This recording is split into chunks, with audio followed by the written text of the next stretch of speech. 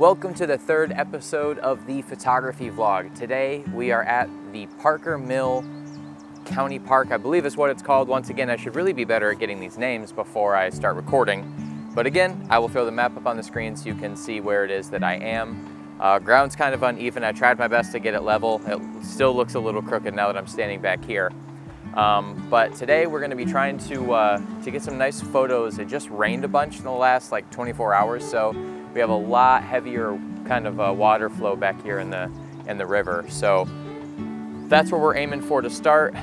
Two new massive changes. I'm filming, uh, this is the first episode that I'll have filmed on my new FX30 and I changed my XH2 to an A7R4. So 40 megapixel crop sensor camera to a 60 megapixel full frame sensor. And uh, we also have the Sigma 35 1.4 art lens as well. So this is stills, FX30 is for video. So uh, yeah, let's go. Taking photos or videos of bodies of water has always been something that I struggled to make look the same way on video or on photo the way that I see it when I'm here. Um, so we're gonna try our best. You can you can kind of see what I'm working with down here, but we're gonna we're gonna try our best. Um, this is also a test for the autofocus on the FX30 as that's the reason that I switched was I was having just tremendous issues with autofocus um, with the Fujifilm gear with the amount of moving that I do. So um, I'm hoping that everything stays in focus and we look good. But what I'm gonna do now is I'm gonna attempt to get a photo of kind of these uh, river rapids. Uh, I don't want anybody to, to come for me that this is not rapid river. I am aware. This is post-rain river, so it's a little faster than normal. But uh, I hope you can hear me, and we're gonna see what I can do.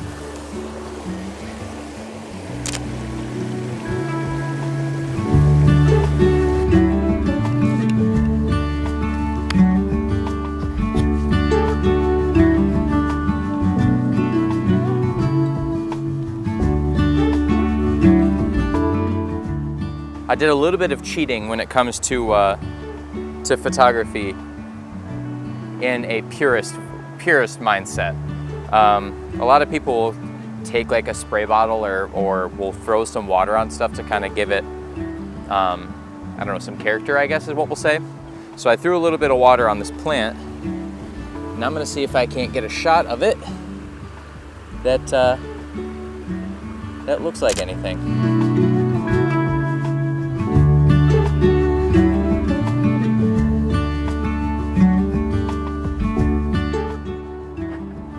Having a hard time telling if um, my exposure is preferential or not, but more so the ND filter that I have, it isn't the most expensive one in the world, and I feel like I'm seeing a little bit of that kind of Xing on it when you uh, when you adjust it closer towards the the full extent. I'm technically three or four dots away from the fullest ND capabilities that it has, and it's still not quite enough. So then I'm dropping my aperture down to like f6 to try to compensate as well. So I don't know if I'm having vignetting around the edges and if so, my bad. Um, we will get a different ND filter next time if there is. Um, this thing is interesting. It's kind of, it's a nice little sit down chill area, I guess. Really cool living roof or living shingles or whatever it's called. I don't actually know. I, I don't really think there's an image here, to be honest. I just think it's kind of neat. Something that I've been trying to do when I'm out shooting and I'm feeling like maybe it's time to kind of pack it up or that the shoot isn't going very well, um, what I will do is I will give myself like a five or 10 minute timer and I will say, hey, I'm gonna just push for five or 10 more minutes and if it's still not working, then we will leave.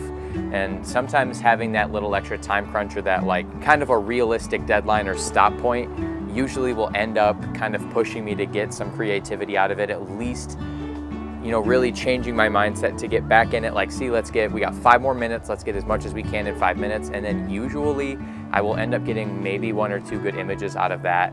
And I find that that, uh, that's just something to work, you know, that I think is worth trying.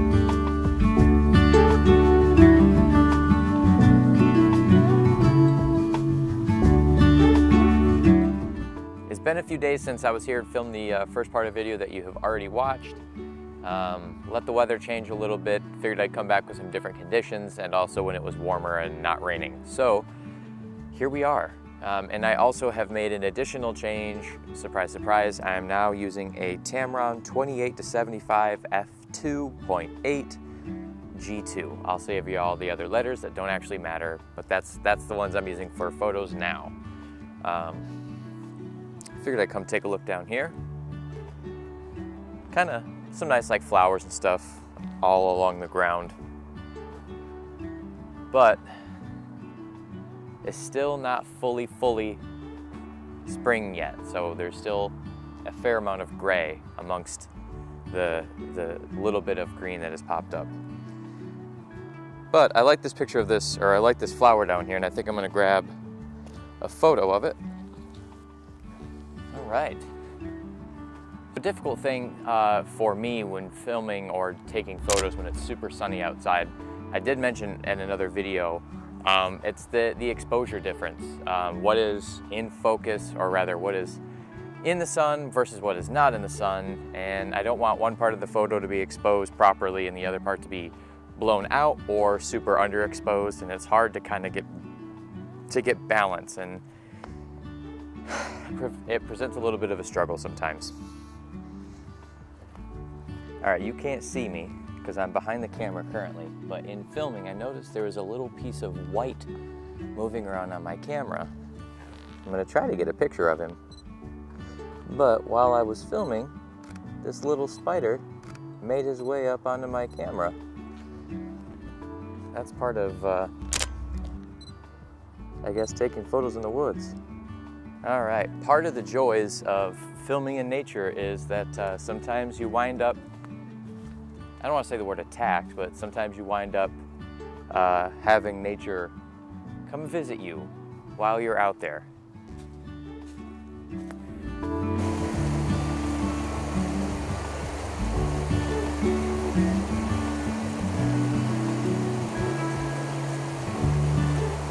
Now, I really enjoy shooting with prime lenses because they're typically a smaller lens, they're a faster lens, and they usually have corner-to-corner -corner sharpness that is superior to your typical zoom lens. Um, but I was looking at the Tamron 28 to 75 f2.8 G2, and I was finding that the edge-to-edge -edge sharpness was fantastic.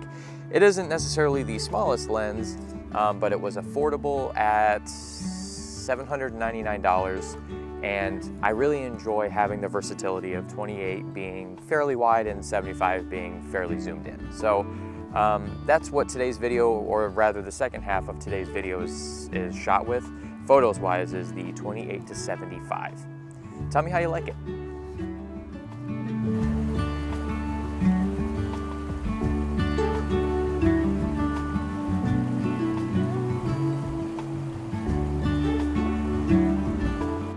Know, the thing about landscape and wildlife photography is that you can come to a place multiple times on multiple different days for several hours at a time and find absolutely nothing. And in some days you come and you find a bunch of stuff within 10 or 15 minutes of being here. So that's kind of, it's exciting and both frustrating because sometimes you never know what you're gonna get and it pays off and sometimes it does absolutely the opposite. So I feel like today and with this particular park, I'm having absolutely no luck. This is probably my third or fourth day coming here looking for things and I'm just, I'm not seeing it yet, so I'll probably try again later on in the season and, and give it another try. But I think for today, I think that we're gonna call it, this park is better for walking than it is for photography, which it happens.